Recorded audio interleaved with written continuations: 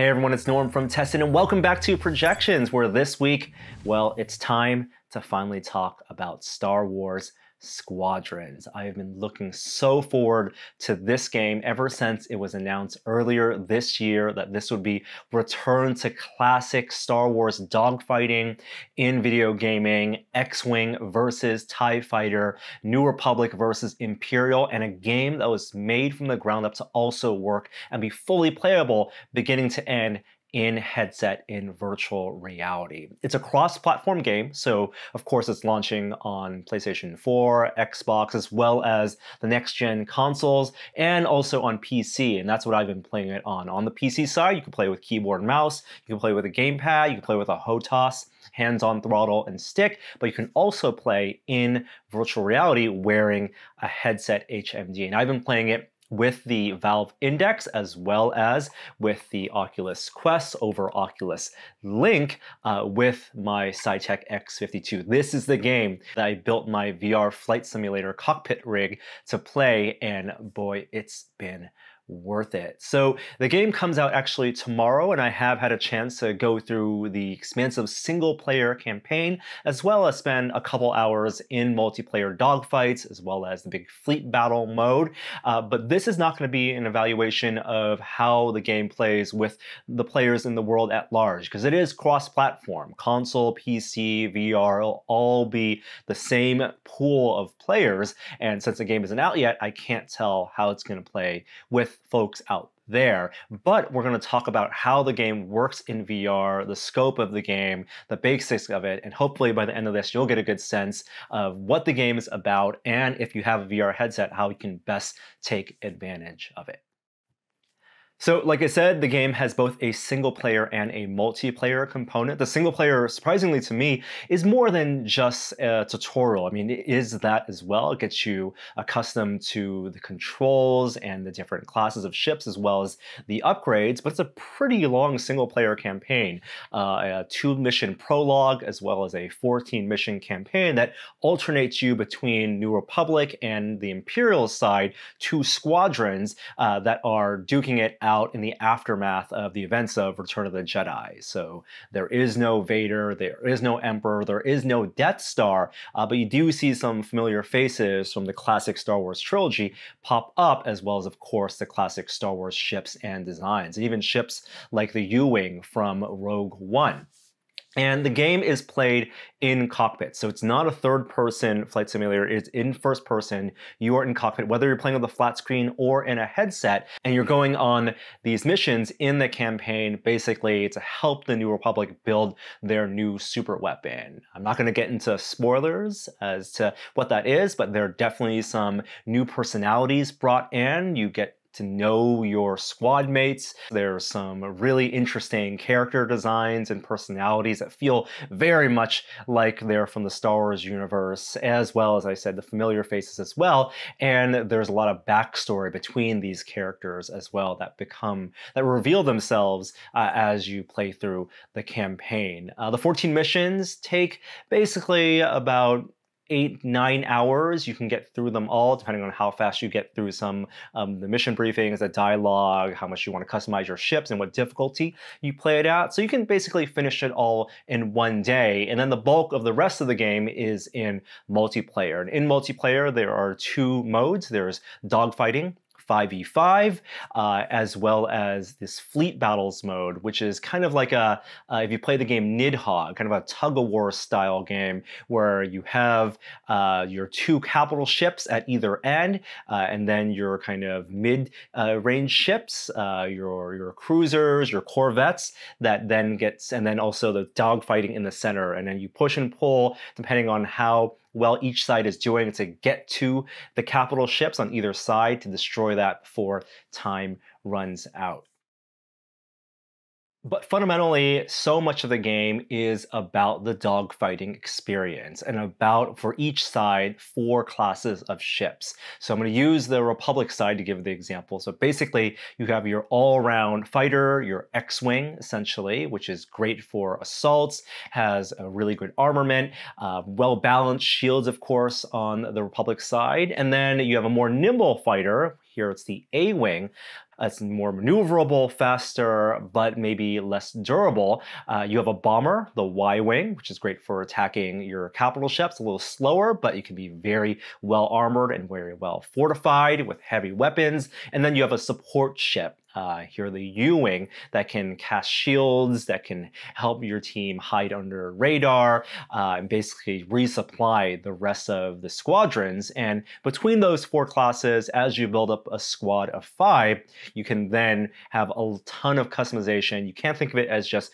one ship, you think of it as a team-based battle and how that squad of five is balanced between each other with the different loadouts for each of the ships. And because the game is all played in first person, VR support works right out of the box. So uh, the version I got to play is an Origin build. So I load up the game in Origin, I boot up Steam VR or have Oculus Link running. And in the menus, you go to a VR setting and say toggle VR, which then changes the rendering of the game to output and make it work for VR, stereo VR, wide field of view, and it just works. And in the game, you, you can navigate the menus entirely, whether you're using keyboard or mouse, or a gamepad, or a HOTAS, uh, you can be in headset and navigate through all the menus. Uh, there are a bunch of VR specific options. For example, for comfort, you can do snap turning in the hangars and the mission briefings. But when you're in cockpit, it's there's no snap turning. It's the exact same experience as if you were playing on a flat screen, except now you can look around. You can actually move. You have full six degrees of uh, freedom to actually get up close to the instrument panels, to peek outside this, the, you know, the side of the windows, to look behind you, and if you're an X-Wing, see that astromech that's repairing your ship. Or if you're in a TIE fighter, there's even a small little back window. Uh, all of that detail is kind of unlocked with VR Freelook uh, while you're still using the same controls that you would be using uh, if you're playing it on a flat screen, whether it's keyboard, mouse, gamepad, or with a flight stick. And maybe the best way to illustrate this is to show you and not just tell you about it. So let's put on a VR headset and head in game where I can show you the instrument panels and tell you exactly how space combat works in Star Wars Squadrons. All right, so here we are. We're in the cockpit of an X-Wing, and I've booted up the practice mode, so this will let me switch between ships as well as spawn enemies for practice. But I mean, first things first, you can see it looks so good. The geometry detail, the textures here, the lighting, it, this this is just an incredible amount of detail. It feels like it's really built uh, out here. And the interesting thing is there is no canonical you know, uh, design for what uh, uh, what's supposed to look like inside an X-wing cockpit. So the team at EA Motive had to, you know, really come up with something that would fit the aesthetic of the Star Wars universe as well as all uh, the practical um, uh, information being given. So let's take a look at the control panels. You can see I have uh, my throttle right here on my left. That's my hand there, and it's one-to-one -one movement with the actual throttle I'm using right now. The stick is right between the legs there and doesn't actually move, but the ship moves, of course. Um, but let's go through the kind of menu options. So the first things first, there's throttle, and you can see that throttle indicator go up to speed as I slow down or speed up. And there's a sweet spot right in the middle that gives me really good maneuverability right there. And the nice thing about, of course, using a HOTAS is I can have that muscle memory of where that sweet spot is, uh, or speed up uh, without having uh, to always glance there. Um, that can just be a almost haptic um, uh, memory of where that sweet spot is. Uh, there's weapons, so you see that red bar right there. So I'm gonna fire some of these lasers, and that gets trained, and then my shield is right over here. That's the green indicator as well as where my health would be. Uh, and I can adjust the shield to be forward facing or rear facing um, to really balance it out. Uh, power distribution is a big part of this game. So you see right here, you have the same color indicators with blue, red, and green for uh, for throttle, for weapons, and for shields, and then I can easily switch between them, prioritize either. So I can prioritize speed, for example, and that starts generating a boost. So you can see that yellow, uh, those five yellow bars, that's boost. And so if I speed up, I can hit a button to additionally boost, get real fast. But you only get boost if I send power to my thrusters or engines. Uh, if I send to weapons, then, for example, I start building up a second um, bank of weapons. And when that maxes out, my burst weapons, I can just use them for longer before they need to recharge. And then for shields, of course, if I balance out the shields, then I get a second uh, level of shield as well. And I'm controlling this right now with the hat switch here, basically the directional pad on the throttle, so I can easily go left for throttle, right there, and then if I press down on that hat, it balances out. Uh, same with the menus, so I can activate a menu, for example, right here. So this is now my practice menu, and I'm using that same hat. Actually, I'm pressing a different button to then navigate and get through the different menus. So let's uh, actually deploy a squadron of enemies and show you what happens there. I can deploy a squadron of TIE fighters and TIE Reapers. Sure, why not? On the center is my radar, so I can press a button to target an enemy. And you can see they pop in my HUD. I have the distance right there. And I put them right in the center of my reticule. So the reticule is locked to the ship. It's not head locked for where I'm aiming. And now I have a missile lock, and I can deploy one of my one of my three auxiliary loadouts. For me, it's weapons or missile repair and also uh, deterrent against enemy missiles.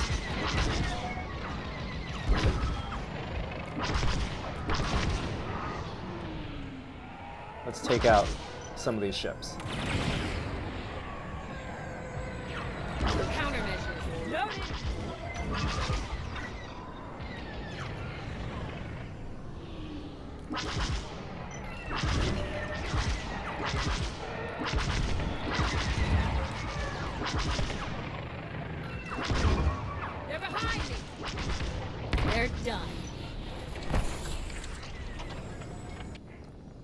One of the things I really love about this game is the lighting, and you know, this is a really beautiful map. You see kind of the husk of a super star destroyer that you can fly through, and the lighting that you see on the cockpit that all comes from the star that's right there. So it's very Star Wars-like, in that all the space battles happen in the proximity of a big light source, and you have these wonderful cast shadows uh, from the cockpit um, which then cast over you and they're dynamic. So if I turn, you can see they shift over the instrument panels. There's a hide and shadow, and there's so much detail. Uh, when you get messages in the single player, a hologram does pop up, and in headset, that hologram just looks awesome because it's in 3D, of course. And then because you do have the free look option, you can kind of turn around and you can see there goes my astromech right there. Give you another example. Here I am in the cockpit of a Y-Wing, and once again, very beautifully designed. Can look up and see the hull. It's there. Kind of look around. This feels very much like I'm in the cockpit of a, a fighter jet. Um, and you have all the same information that's displayed. So you have shields, you have your weapons, you have your throttle, power distribution, your your uh, auxiliary items, um, as well as just uh, your radar and readouts. Um, and it's just it's just really really gorgeous. It's really fun just to look around and admire all this detail. Switching over now to the Imperial side, uh, this is the hangar. So there's a hangar that you get to uh, hang out in on both of the sides, and there's just a lot of cool activity. uh, going on. Just watch, you know, like shuttles land. Uh, you can inspect your vehicles, your ships from different perspectives. Get inside the cockpit, which I'll show you, and kind of just again look at that geometry uh, and launch. Or if you want, this is also where you customize your loadout. So you can go through your TIE fighter, bomber, interceptor, or your support, your Reaper, and then you can press a button to go change your components, whether it's your primary weapon, back out to your auxiliary, uh, active countermeasures, or missiles or mines to things like your hull, and if your ship has it, things like your shields, your deflectors. So here we are, I've loaded myself into an Imperial Reaper. This is the support ship, and here you get a really good sense of just the different geometry, different shape of the cockpits. In fact, this is a, a two-seater here, and you can just see like they've really modeled all that detail, all those switches and lights, and it's a different amount of visibility for each ship. Here you can see you have windows and the side windows right there. It's a little narrower out front, but all that HUD information is still here in terms of you know, your throttle, your power distribution, your shields in this case, and health of the ship, as well as uh, all your auxiliary uh, loadout.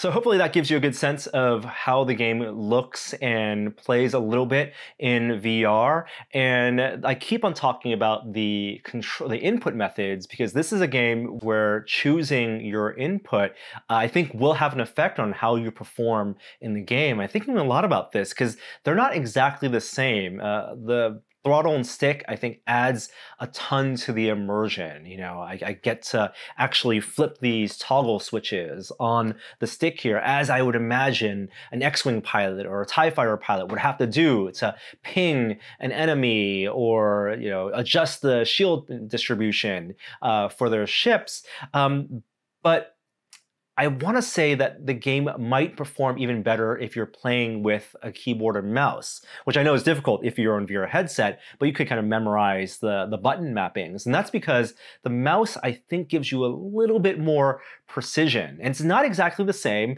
uh, both with the gamepad and the mouse. You're not doing one-to-one movements. Uh, you're basically dragging these vectors off from the center of your reticule, which then pivot the ship in the kind of pitch and yaw orientations. Um, but I, I do think that you can get a little bit more precise and it's a little bit more responsive when you use that mouse to kind of pinpoint and get that reticule right on target uh, with the flight stick, there was always a little bit of a delay as I'm pitching up or doing a, a, little bit of a roll, especially the yaw movement always felt like a little bit of a delay where maybe they're trying to simulate and, and balance the game out so you don't have this unfair advantage if you're using a throttle versus if you're using a gamepad. Um, but it's one of those things where you would have to consider it depending on if you want to choose immersion uh, versus performing really well in multiplayer. There's no track controller input, so you can't use like the Oculus Touch controllers or the Valve Index controllers and move your hands around and, and push buttons or even use the sticks here. Because first of all, there's no button parity between the uh, sticks and the buttons on these controllers and what you get on a gamepad. Uh, but I would have loved to have seen some some track hand input. I think a, a mech game, a cockpit game like Vox Machinae does a great job of letting you see your hands, but also grab virtual sticks and push virtual buttons inside those mech cockpits. And I get why they didn't did it didn't do it for this game, um, but it does take away from a little bit of the immersion uh, when um, you can't see your hands move. Your hands are always locked into holding that stick and that throttle. The gamepad side, the gamepad was honestly my least favorite of the inputs. I know so many people will be using gamepads on their consoles. And one of the reasons is the default configuration scheme is basically using each of these sticks as uh, one of the, the pitch or roll orientation. So you have the right stick as yaw and pitch, and then the left stick as throttle and roll. And I quickly remap that so I have my shoulder buttons as the roll, uh, and then the left and right of the left stick here as activating um, my power ups.